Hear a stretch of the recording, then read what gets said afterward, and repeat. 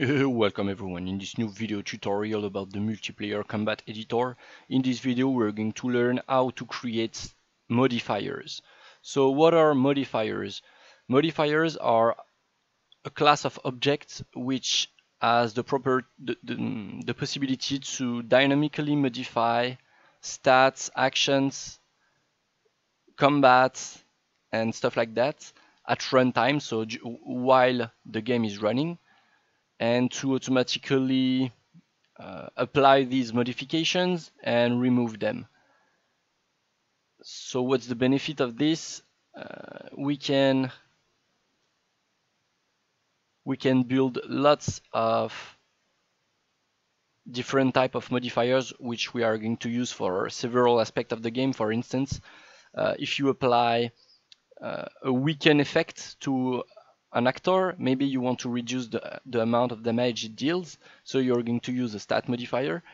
And but and this is a modifier used for crowd controls, uh, considering that weaken is a crowd control, for instance, or a status effect. Uh, but you, you, might be using that this to actually, uh, I don't know, create a, a, talent tree, a skill tree, where you can actually um, improve your skills and modify I don't know the the type of damage your skill deals or stuff like that you're going to use modifiers. So modifier is a class which is going to be used uh, in a lot of places for uh, MCE if you start customizing stuff uh, while the game is running. So we're going to learn how to create that. So go to your third person blueprint uh, folder your your project folder create a new folder call that modifier oh I've already created one. So we have the modifier folder. And we want to right click create a new blueprint class. And we want to create a modifier. So we want to create a child class of modifier which means uh, the class we are we are creating uh, inherits from all the properties MC provides uh, in modifiers so if we select that, this blueprint has all the code MC provides automatically because it's a child of uh, BP modifier. We're going to call that BP my base modifier, for instance.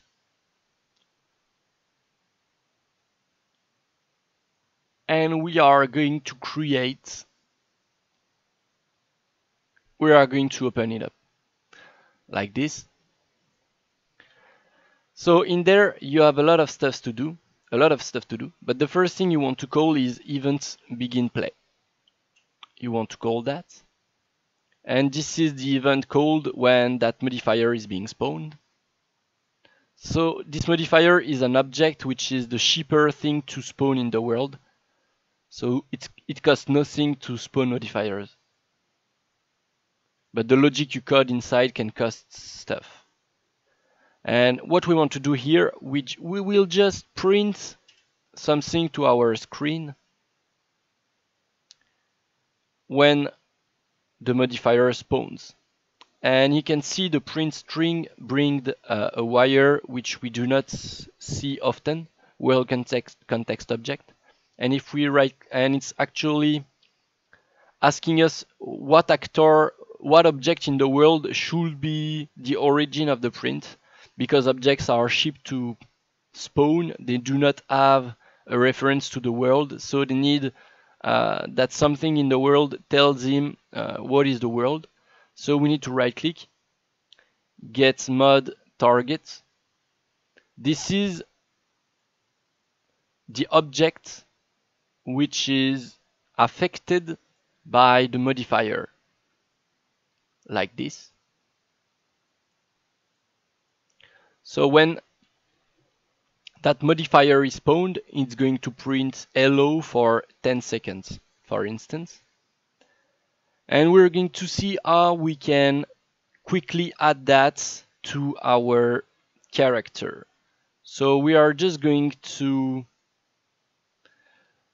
open up our character blueprint. I'm just going to specify that I want that character to be spawned. And not the other and not the character of the other tutorial I made.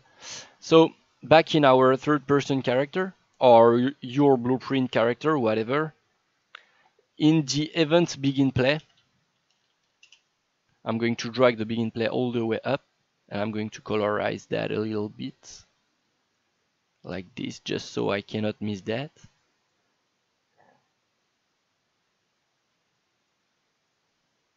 Alright. It's going to, to make the trick. So whenever you want to add a modifier, you can do it in a pretty easy way, which is just type in add right click anywhere, type in add modifier. You can call this node anywhere and it's asking what modifier you want to add and what is the target of the modifier. And in our case, we can just plug that in. And in our case, we just created my base modifier. And what do we want? What is the target of that modifier? We're going to set our third person character. So we're just going to drag a wire out of the target pin, type in this, press enter, and we are telling the modifier that its target is actually ourselves. I mean, this is referencing the the, this blueprint, so the character. So we are adding my base modifier to our character, and the modifier says hello when it spawns. So if we are hitting play, it will say hello. Why does it say it four times? Because we have two characters on two screens, on two machines.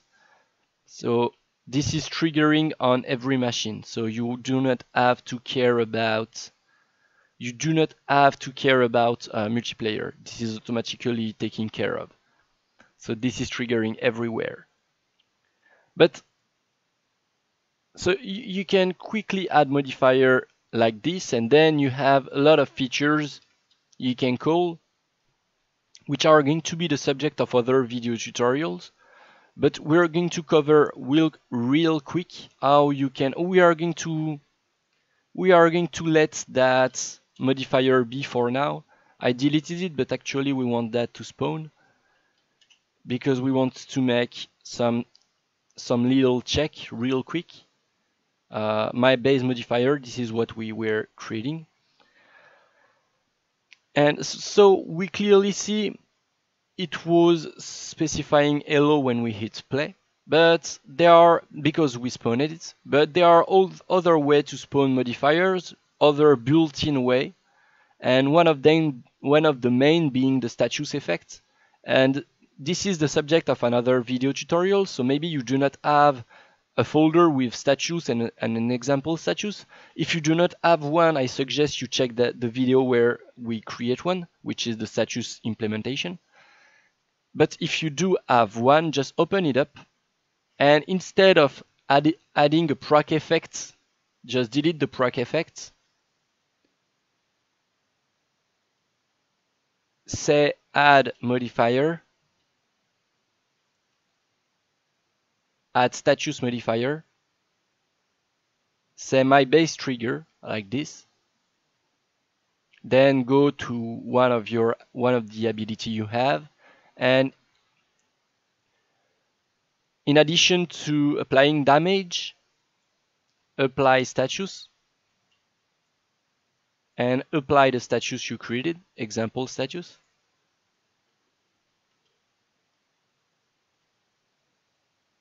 So in there we could see hello being spawned because now the status, the, the, the modifier is being spawned when I hit someone with my skill. And there is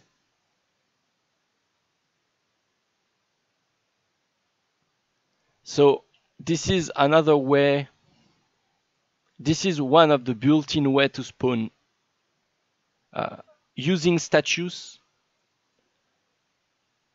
is one of the way to spawn modifiers. And it's actually taking care of adding it and removing it from the target.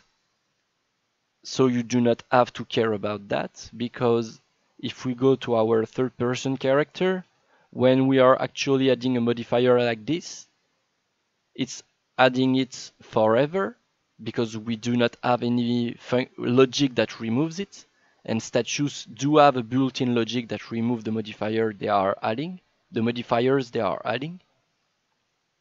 You could be calling this uh, uh how many time um, how many time you want and adding how many modifiers you want and you see there is a return value pin which gives you the modifier which spawned.